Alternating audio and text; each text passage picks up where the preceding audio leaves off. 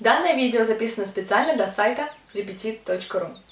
Hi everybody, my name is Anastasia and I'm an English teacher. If you're interested in learning American English, then you will be in right hands with me. For my online English lessons, I use webboard, interactive study guidance and video footage from TV shows and movies. Regardless of you or your child's age, I will show that English is not just something we need every day, but something we can enjoy using in real life. I can help you or your children with English grammar, speaking, and even the language barrier is not a problem if you will decide to learn English with me. I have been studying English in England and Malta. Furthermore, I lived in United States where I had met my husband, Native American speaker. Very soon, I am planning on moving to United States where I continue to have online lessons from down there.